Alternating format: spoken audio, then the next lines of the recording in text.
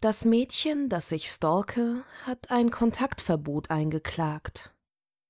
Im Brief stand jedoch nichts von ihrer Zwillingsschwester. Da es meiner Tochter in letzter Zeit nicht gut ging, beschloss ich, mit ihr zusammen wegzufahren. Ein Jahr später wachte ich im Krankenhaus auf. Ich war nicht länger Mutter. Meine Puppe ging kaputt, also habe ich sie weggeworfen. Ich verstehe nicht, warum Mama weint und Papa wütend ist.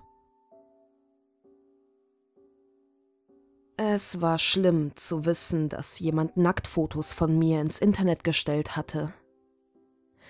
Noch schlimmer war jedoch, dass sie nur von meinem Schlafzimmer aus gemacht worden sein konnten. Ich will berühmt sein, dachte ich mir, wusste aber genau, dass ich weder das Aussehen noch das Talent dafür hatte. Naja, es gibt immer noch diesen Weg, dachte ich, als ich mir vor der Schule die Pistole aus dem Schrank meines Vaters nahm. Vor kurzem habe ich einen ehemaligen Polizeihund adoptiert, der darauf trainiert wurde, nur dann zu bellen, wenn er eine Leiche riecht. Ich wünschte, ich hätte ihn nicht zur Beerdigung meines Mannes mitgenommen. Die Stille war erdrückend. Das Rätsel ist endlich gelöst. Menschen, die ein schwarzes Loch betreten, sterben nicht. Niemals. Als ich mein Schlafzimmer betrat, sah ich jemanden in meinem Bett. Es war ich. Es ist nur eine dumme Weltkarte, dachte ich mir, während ich einen Dartpfeil nach dem angeblich verfluchten Wandteppich warf.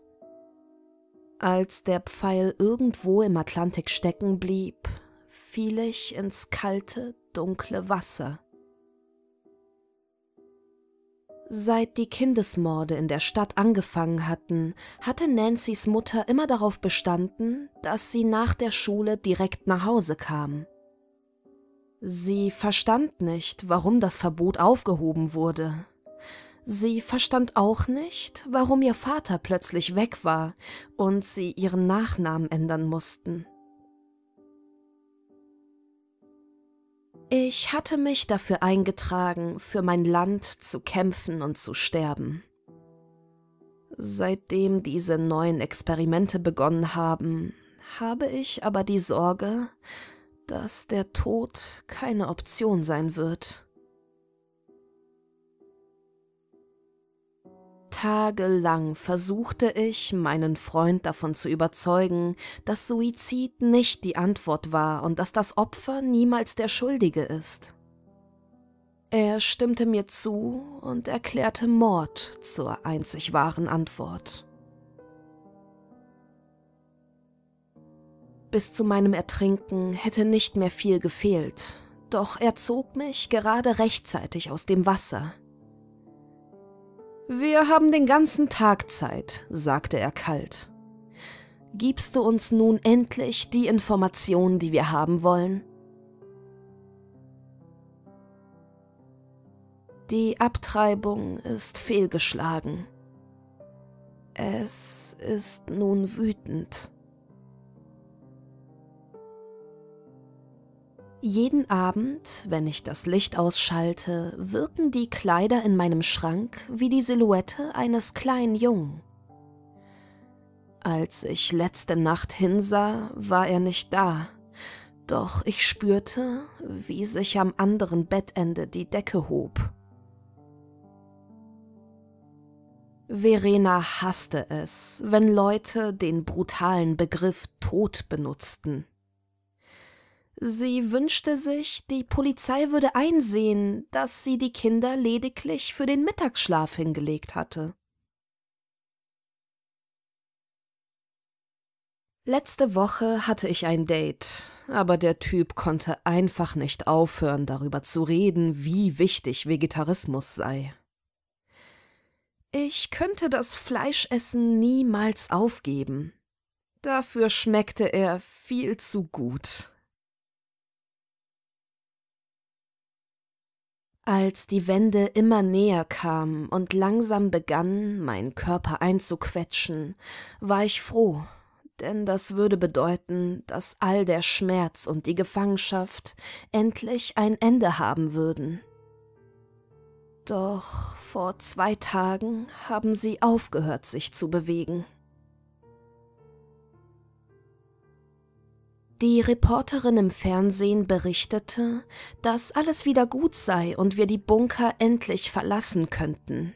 Aber ich verstand Morsecodes und somit auch die Warnungen, die sie blinzelte.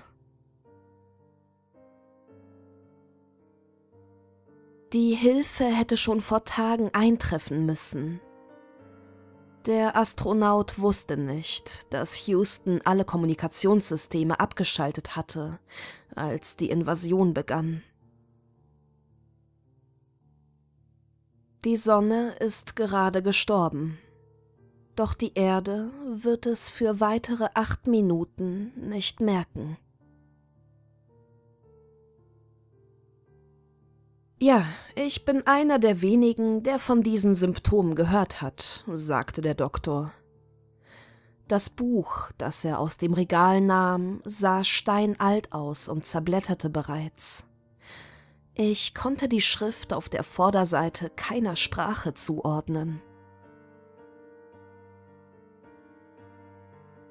Sie machten Liebe, langsam, zärtlich, als sie aufstöhnte.